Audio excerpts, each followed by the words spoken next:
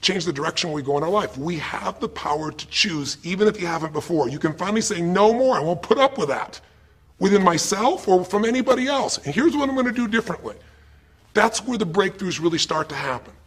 Now, the question is, why do some people stand their ground and make something change versus other people just kind of accept things?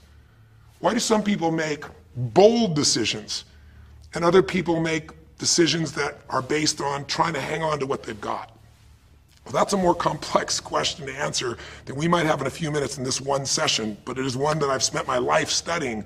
Because when you can change your decisions, you can change your life. When you can change the force that controls your decisions, you can change anything in your life. At some level, we have certain beliefs and values. But if I was going to make it simple, I'd say there's two things that determine your choices. The first thing is the state of mind and emotion you're in at that moment. Think about it. Have you ever snapped at somebody and had nothing to do with them? It was just the state you're in, right? You're frustrated, you're pissed off about something, and in that state of mind, whatever they said got interpreted through that state, and you made up a meaning like they were an irritant or they were interrupting you. They weren't. You probably felt bad afterwards. When we get in the wrong state, we make the wrong decisions. When you get in a strong, empowering state, you'll make a better decision. Learning how to direct your state is a big part of what my work is with people, and it's a big part of what I do in my seminars. But the other thing that affects your decisions would be what I would call your story or your blueprint. We all have kind of a story about how our life is supposed to be. It comes from a set of life experiences, interpretations. Some people think life is all about getting theirs. Some people think life is about growing and contributing. Some people think life is about making judgments. Some people think life is about saving other people's lives. Some people think life is about being successful. Some people think God is the basis of everything, and the way to know God is to go through life in a very specific way with a set of rules, and they follow it. And that's what they believe. Whatever your story is, whatever your blueprint, your blueprint is just another way of saying whatever you believe is how your life is supposed to be, at some level, we either follow that blueprint or we fight it. If we follow it or we fight it, we're going to find that we're going to bump into things in life where life isn't always the same as we expect it to be or think it should be. And that's where we start to experience stress. So in this session of Breakthrough, when you watched this story and you saw Melissa, you saw the conflict between what you desired most and what you feared most. I really believe life is the dance between what you desire most and fear most. That's where you find where we live our life. The dance between what you want most and what you fear most. That's, that's where all that energy is in life. So, what does she want? She wants to be famous. She wants to be able to sing and have everyone hear her voice and be able to touch everyone. She wants to contribute. She wants to share her gift. And she definitely wants to be famous and successful. She needs to be closer to her children. And one of the big challenges in life is oftentimes what we want and what we need are two different things. She has five boys. They're all extremely young, as I'm sure you saw. And she has a husband. And while they're all supportive of her going on this journey, somewhere along the line, she lost that connection to what was most important. Now, is she a bad person to make bad decisions? No, good people make bad decisions when they get in lousy states, when our ego gets involved, or when we start believing our story. And here was the story she had. Being a mom's important, but the bigger gift God gave me is my singing voice. And once we get seduced into a particular story and we start to believe it, it takes a hold of our life and it controls all of our choices. And then pretty soon, bad choice on top of bad choice on top of bad choice starts to affect our life. Can you relate? How many times you've made some choices that you wish like hell you would have made a different decision back then and, and or that no one ever knows the stupid decisions you made? I know I can relate to that. So what I want to talk to you about today for this brief little session is how to break through a crisis. Crises happen, whatever type of crises you go through in your life, and I know you've had many, when we make some choices unconsciously and we get consequences. And we make them unconsciously because we're trying to get what we want. We don't really know what we value most. We don't know what we need. And we find ourselves waking up one day and going, why is my life this way? It's kind of like life is always calling to us to constantly grow and improve. You know, if you're going to look at what's going to make life work, it's really simple. What makes people happy is progress.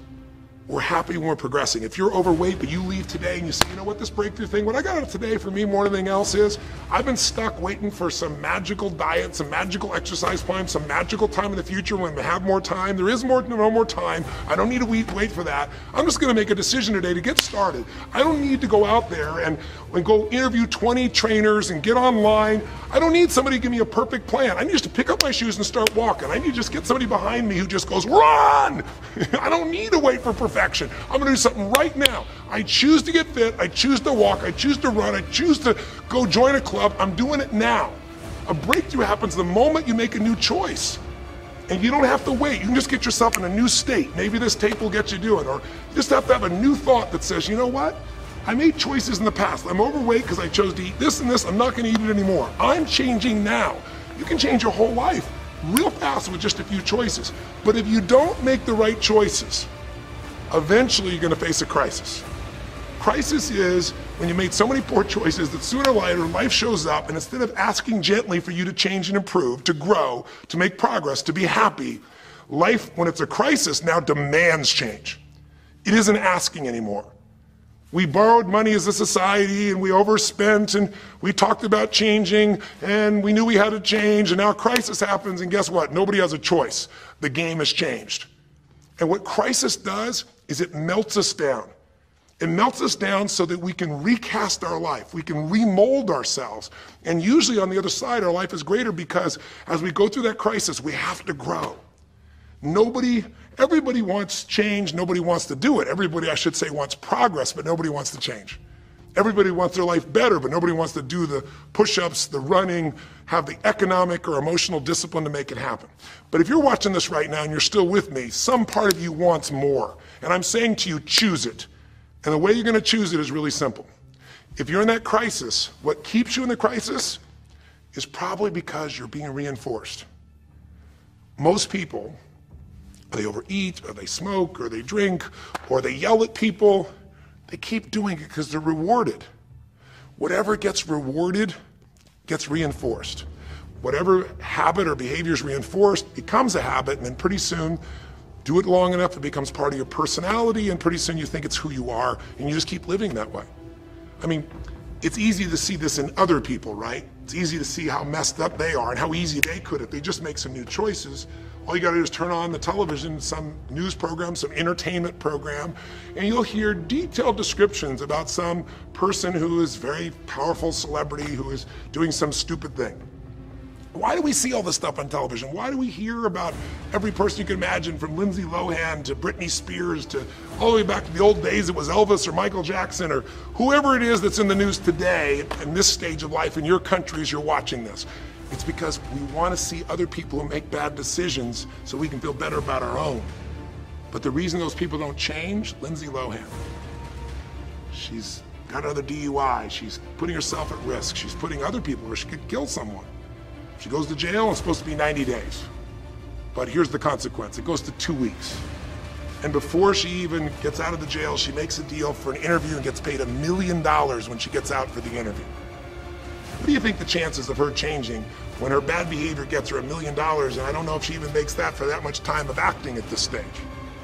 What do you think the chances are when people around her say it's not your fault, it's not fair, they treat you unfairly?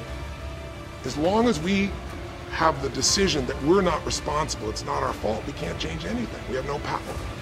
So I don't know if by the time you watch this if Lindsay will change, but if she did, it'll be because the enablers are gone. She's taken responsibility and she's found something she values more than attention and money for bad behavior.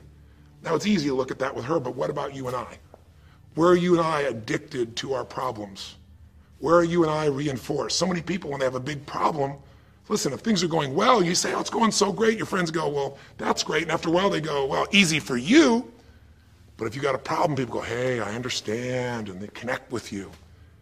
Where do we get addicted to our problems? If you want to make a new choice, if you want to make a new decision today, if you want to have a breakthrough in some area of your life, you got to give up the story that it's not your fault, and you got to give up the attention and the love and the connection and the commiserating that comes with it with other human beings. Here's how you change five simple, quick steps, and then I'm going to give you a little tool that if you want to, you can go online and really make a change with. If you're going to change your life, step one, I don't care if something has happened to you, You know, somebody has spilled oil all over where you fish. It's horrific. It's disgusting how they've dealt with it, but it's happened. And you got to deal with it. Um, something's happened. Someone in your family's been injured. You've lost your job. I don't care what the problem is. If you're in a crisis, step number one, see it as it is, but don't see it worse than it is. Now, what do I mean by that? I don't mean be Mr. Miss Positive Thinking. By now, if you spend any time with me, you know I'm not about that. I'm not here to tell you, go to that garden and chant, there's no weeds, there's no weeds, there's no weeds. Doing affirmations is not going to change your life. You got to go see where the weeds are and pull them out. My point is simple. You got to see what the problem is, but you can't make it so horrific that you just give up.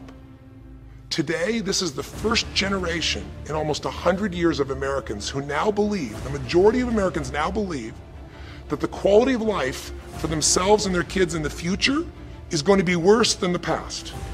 They have, in other words, nothing to look forward to. 63% of the US as of today. Wow. When you start thinking there is no future, you go into what we call learned helplessness, a place where you just kind of give up. And if you get to that place of giving up, then, then you have no power over your life. That's when people get depressed. That's when people do crazy, stupid things. That's when people want to turn to drugs or alcohol or sometimes suicide or just total frustration and anger, and their life starts to do the opposite of a breakthrough. It becomes completely stuck and in pain or in ongoing suffering. If you and I are going to break out of that, we got to see it as it is. We're not here to be positive thinking people. You got to see what's really going on. But if you're overweight, you can't say to yourself, well, I'm big boned. That's not why you're overweight. You're overweight because you don't work out, you eat certain things, you eat Cheetos all day long watching TV. I don't know what it is you do, but I know it's not just because you're big boned. You don't want to make it so it's outside your control or you can't change it. So see it as it is, but don't see it worse than it is so that you have no reason to try. Does that make sense?